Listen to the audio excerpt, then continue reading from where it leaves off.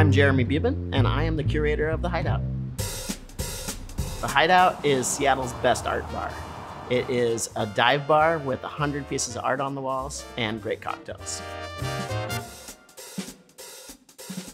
Of the 101 paintings on the wall, 84 of them are available for sale. The rest are part of our permanent collection. And anybody who comes in can become a collector. The Hideout has a wide array of patrons, from hospital workers to First Hill residents to artists. So we create an atmosphere that is surrounded by creativity.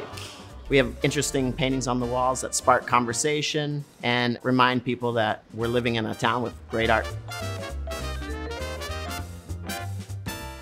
Many of the artists on the walls are what I would consider established Seattle artists. They've had shows at galleries, but I'm also always on the hunt for new emerging artists that maybe haven't had a show yet, but I get wind of their work or see it on Instagram, and uh, nothing's more fun than putting something up for the first time for an artist. One thing that is fascinating to think about is how many hours and how much of people's lives are poured into these paintings on the walls. For some people, it's a lifetime to get to the image you're seeing. Other people, they're just discovering paint and just starting to express themselves. But every painting has a personal story to tell. I was so happy to get the large Tondo painting from Sullivan Giles. It's the hands with the tattoos. And it is just exquisite and massive. Another piece that I really like is Blake Blanco's The Fallen One. It's this red devil angel, and he kind of looms right behind the patrons, casting his glance down at them.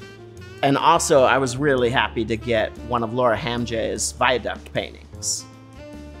I have cataloged all the art on the walls, and we put out a magazine roughly quarterly. Everything's pictured. You can find what you're looking for really easily. The Vital Five is a long-standing tradition here at the Hideout. It is a magazine compiled with drawings by patrons. So we put that out a couple times a year, and it's some of our favorite drawings that were created right here. The Hideout is definitely a cocktail bar. Probably the most popular drink on the menu is the Andy Warhol, and that is a cosmopolitan and a Polaroid picture of yourself. My advice for anybody that wants to buy art that hasn't had experience with it is just follow your heart, buy what you like.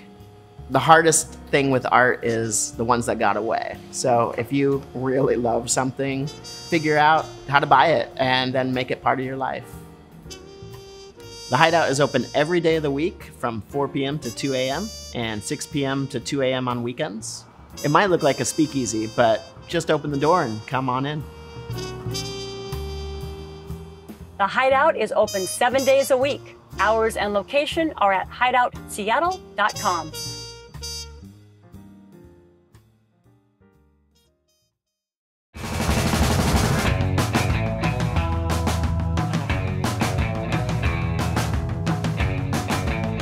Catch Art Zone Friday nights at 8 and anytime online at seattlechannel.org slash artzone.